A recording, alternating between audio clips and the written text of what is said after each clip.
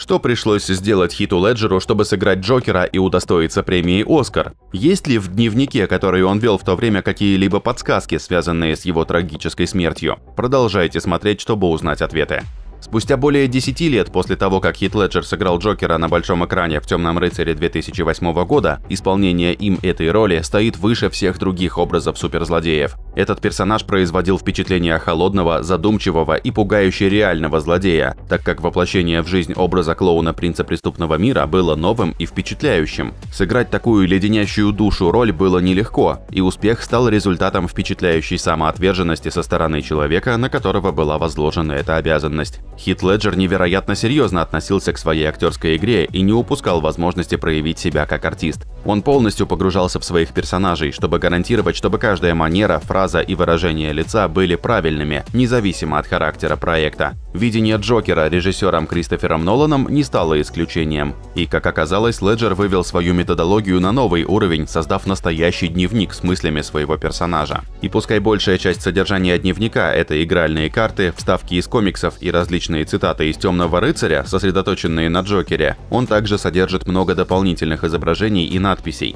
Это дает фанатам возможность заглянуть в мысли Леджера по мере того, как он все глубже погружался в кроличью нору. Небольшая записная книжка стала стала почти такой же легендарной, как и сам персонаж, заставив поклонников и критиков восхвалять Леджера за его приверженность своему делу. Однако из-за зловещего характера содержания рукописи о ней сложилось немало легенд. Чтобы по-настоящему стать Джокером, Хит Леджер решил изолировать себя от остального мира на целые месяцы, запираясь в своей квартире или гостиничном номере, чтобы отточить мельчайшие детали персонажа. Во время добровольного изгнания он работал над своим дневником, не отвлекаясь на постороннее вмешательство. Он задокументировал свой мыслительный процесс, причуды персонажа и записал другую информацию, описывающую то, как он придумал большинство уже ставших знаковыми составляющих образа Джокера. В немецком документальном фильме о покойном актере под названием «Слишком молод, чтобы умереть» Хит Леджер, его отец Ким Леджер дал интервью о нестандартном характере подготовки своего сына. В то время как старший Леджер признал, что изоляция и длительные исследования образа не были чем-то новым для его сына, он описал дневник Джокера как нечто вышедшее на совершенно новый уровень. Каким бы причудливым ни казалось его содержание само по себе, две стратегии, которые Леджер использовал в связке, несомненно имели решающее значение для совершенствования его актерской игры. Дневник полон вырезок из комиксов, которые Леджер читал в одиночестве. Страницы дневника заполнены рукописными версиями диалогов Джокера из его сцен, включая известный момент, когда Джокер взорвал бомбу в больнице Готэм-Сити. В документальном фильме Ким упоминает, что когда его дети были маленькими, старшая сестра Леджера, Кейт, одевала его в форму медсестры, похожую на ту, что он носит в фильме. Когда Хит Леджер описывал свою версию персонажа журналу Empire в 2007 году, он сказал «В итоге я попал в царство психопата, человека, совесть которого почти не проявляется по отношению к тем действиям, которые он совершает. Он просто абсолютный социопат, хладнокровный клоун-убийца». Леджер также рассказал Empire о вкладе Кристофера Нолана в персонажа. Актер сказал, «Крис дал мне полную свободу действий. И это весело, потому что нет реальных границ тому, что сказал или сделал бы Джокер. Ничто не пугает его, и все это большая шутка. На съемочной площадке Леджер часто импровизировал во время сцен и редко говорил Кристоферу Нолану, что именно он планировал сделать. Непредсказуемость сделала постановку его сцен намного более напряженной, чем обычно. Один из самых запоминающихся моментов в фильме, в котором Леджер импровизировал, происходит во время сцены, когда Джим Гордон, которого играет Гарри Олдман, получает повышение до комиссара полиции вскоре после поимки Джокера. Джокер в соседней тюремной камере саркастически аплодирует вместе со всеми всеми.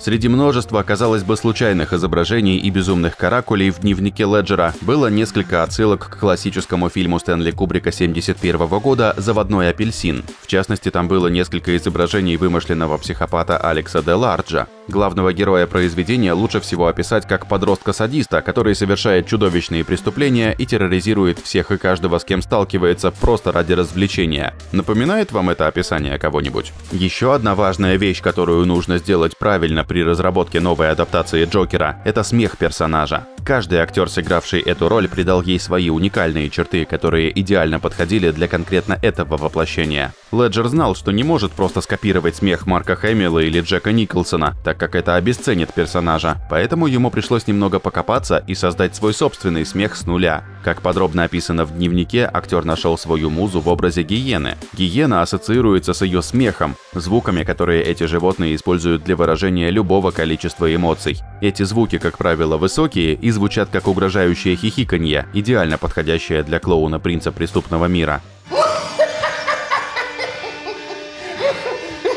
В дневнике Леджера была по крайней мере одна фотография смеющейся гиены. Скорее всего, это отсылка к заинтересованности актера в использовании смеха этих животных в качестве отправной точки для создания своего образа. Учитывая конечный результат, сходство между двумя вокальными реализациями смеха довольно поразительно.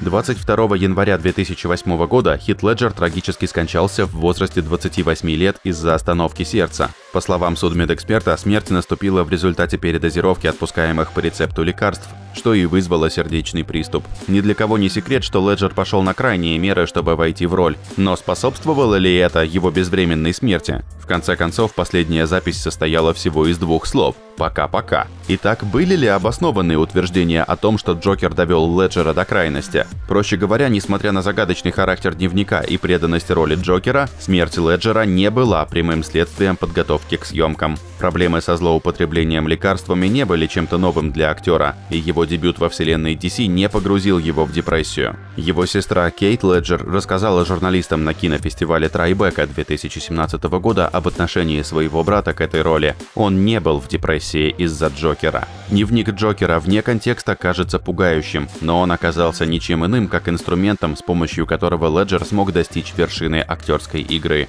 Если у вас или у ваших знакомых есть проблемы с зависимостью, то это серьезно. Позвоните по телефону доверия горячей линии по вопросам наркомании и алкозависимости 8 800 700 50 50